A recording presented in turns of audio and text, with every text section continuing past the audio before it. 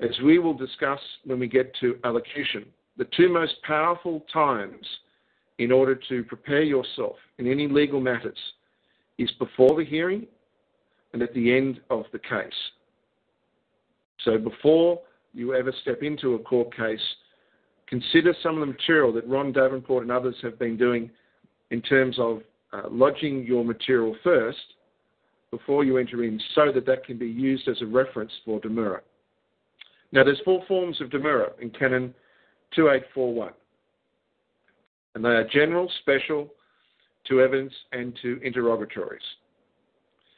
So I'll only speak to general and special at this point, and we'll, well, we will cover the other two as well.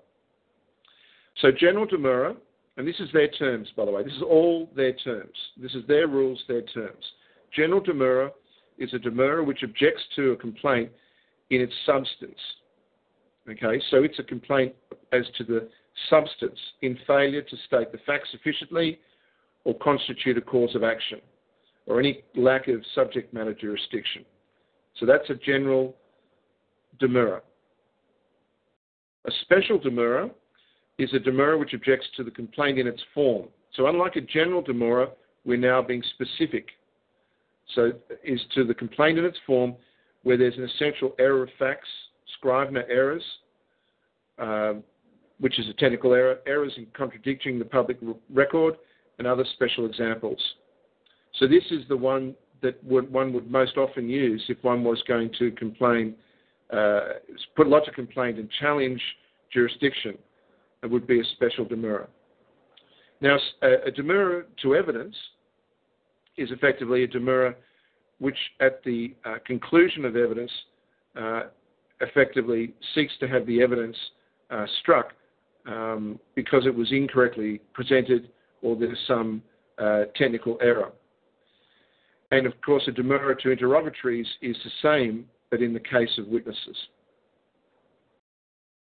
Now, when can demurrers be lodged and how are they lodged? In criminal law, general or special demurrer, and this is 2842, is usually not Uh, uh, requested and filed until after the presentation of any indictment because the indictment is the pleading.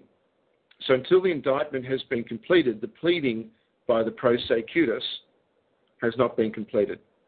So that is why the demurrer tends to correspond to the same time as a pleading, and why they quite happily like to refer to demurrer as a, as a form of inferior plea. It's not an inferior plea, it's, it's a fundamental component into their system. So once the indictment is completed, they normally rush forward on the plea, which gives you the first and, and legitimate opportunity to call for a demurrer. Of course, you can call for a demurrer at any point in the case. If you call for it later and you are challenging uh, via demurrer a principle of jurisdiction, once you agree to a plea, then of course the case will proceed, the court will proceed, as the assumption is they have jurisdiction. In civil, a demurrer, of course, can be filed prior to any hearing because under civil, any kind of complaint needs to be lodged, the evidence needs to be presented, the facts need to be presented, and a copy needs to be given to the other party, which would be you. Now, 2844. A presiding judge or magistrate cannot deny the right of demurrer, and they in fact do not deny. A judge uh, that does deny or, or denies leave effectively um, uh, demonstrates a predisposed bias and a technical error and gives you immediate grounds to file to their superior to have them recused. It, effectively, to deny a demurrer is, is immediate grounds for a mistrial, immediate grounds for the case to, to, to cease. And judges and magistrates know this, but this is what they do. When you hear of people that call for a demurrer without realizing that calling for a demurrer is, demurrer is simply asking for the opportunity to file uh, a written uh, document in line with what we've described. When one does not demonstrate a knowledge of what demurrer actually is, when one cannot even say that it's a general demurrer or a special demurrer, when a judge is able to establish that the person in front of them, the man or woman, I should say, in, pers- in, in front of them, is incompetent to the term they've used, then what judges will normally do is that they'll say, Well, I'll, I'll enter a plea of not guilty. What they're really saying is, You've said a word having no idea what you're doing. You've said a word without indicating any uh, time that you require to prepare this, and therefore I am going to presume that you are incompetent, and therefore, on your behalf, I'm assuming the role of guardian to enter a non guilty plea. And that is exactly what's happening. So it's important to understand exactly what happening uh, when people are using the word demurrer demurrer, and not getting the kind of response they expect. When you say the word demurrer at the plea, you're merely saying, I need time to prepare the written documentation to go into the court. That's all you're saying. I need the written material to go into the court.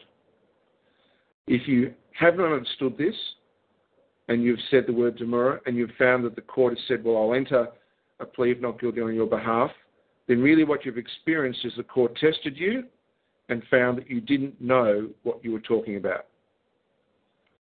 The hope then is, with this clarity on the key concept of demurrer, those of you that wish to challenge a technical error of a case now know exactly what demurrer is. Okay, so that's demurrer. Let's now move to allocution. And like I said, a number of these things appear a bit clinical tonight in just simply reading off the, the canons, but these areas are absolutely fundamental, and we have discussed these before. I know that many of you have heard about them before, read about them. These are important elements if you are facing any kind of legal action to their courts.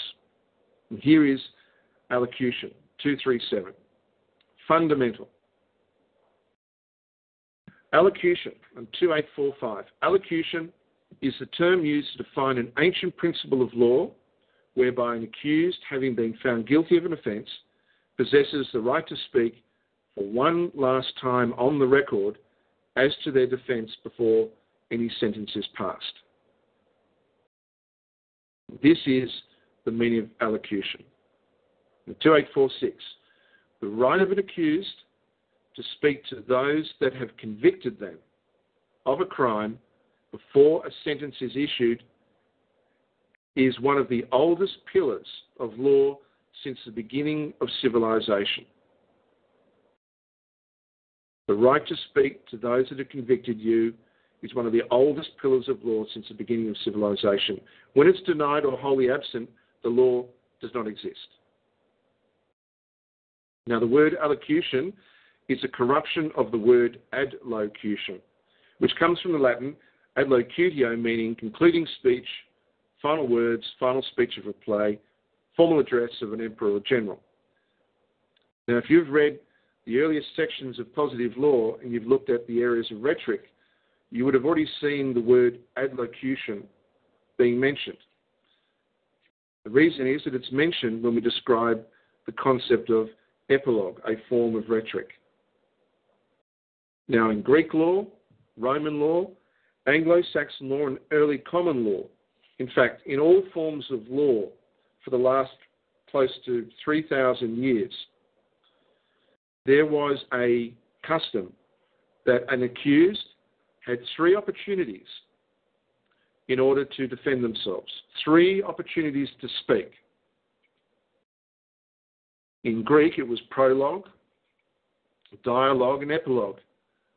In the Roman system, it was prolocution, collocution, and adlocution. Three opportunities to speak. And, and you'll be aware that in Roman law, the concept of three is embedded in many, many things. Uh, an accused must be consent three times. A sentence must be issued, uh, spoken three times. Hear ye, hear ye, hear ye. Three is key to them. And in this case, uh, for, a, for a judgment to be just, there are three opportunities for the accused to defend themselves prolocution, collocution, and adlocution. Now, in 2848, of course, and these things I'm referring to gives weight and also gives reference because when you are dealing with the bar, you are dealing, unfortunately, now with a level of ignorance, unprecedented ignorance. So, in the case of 2848, we say the most famous use of adlocution in Western law is the adlocution of Socrates, as told by Plato, his great epilogue, his great final speech before he drunk the poison cup. And we say thus, adlocution of Socrates has served as one of the one ancient pillars of Western law. The Socratic method by questions, this is a pillar of Western law, the adlocution of Socrates. Now, if you want a, a famous non use of adlocution or a deferral of adlocution in Western law, then look no further than the trial of Jesus by Pontius Pilate, as recounted in the New Testament, where effectively he uh, denied uh, his right for prolocution, he denied his right for collocution, and he deferred his right of adlocution until he was dying on the cross. Forgive them for they know what, not what they do. I think are the words pretty close to. The deferral of his adlocution to the final, final element.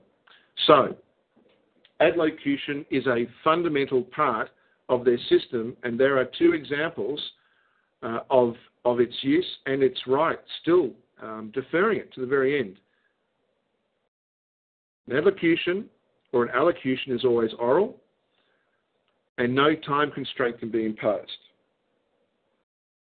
Now, we'll keep covering this because this is an important area and I want to get through this. 2851. During adlocution, one may refer to any evidence, whether previously admitted or refused, to be entered into the record by the court. Furthermore, adlocution may include elements of demurrer in challenging the jurisdiction of the court as well as the weight of evidence presented. Now, we need to cover two elements here that, that people uh, are aware of, which is the depreciation of a fundamental right by the system. We start with the first, 2852. In the 19th century, the Roman cult, also known as the Vatican, sought to remove this 2,000 year old fundamental right by changing spelling to allocution. And then they defined it saying that it was two things. It was a solemn private address by a Roman pontiff to the College of Cardinals, and secondly, that in its lowest use, as a privilege now, not a right, granted by the judge of the private bar guild. Let's speak to this. Prior to the 19th century, there was no evidence of allocution being a custom, custom at any point. It's a wholly fictitious smokescreen and uh, corruption introduced by the Roman cult. And in the 20th century, it got worse because in the 20th century, the private bar guild corrupted this so that allocution no longer, even when granted by the judge, uh, was considered on the record. Now it is an unsworn statement. So when one calls for allocution, one must know exactly the provenance, the history, and the reason for it because it is so, so important. So important. Now, let's talk about um, 2855 and the aspect you've heard before in terms of people being able to speak an allocution or an adlocution and walking out of court. It's 2855. If an accused had previously stated at prolocution for the first time that the court had no jurisdiction and presented facts to support such claim, had then reinforced through demurrer and or collocution, which is the second time, the court's lack of jurisdiction. Then for the third and final time at adlocution, speak their denial of consent and lack of jurisdiction by the court, then the court cannot lawfully detain or obstruct them from leaving the court at the conclusion of their adlocution. That is the famous story of people walking after their adlocution, their allocution. Because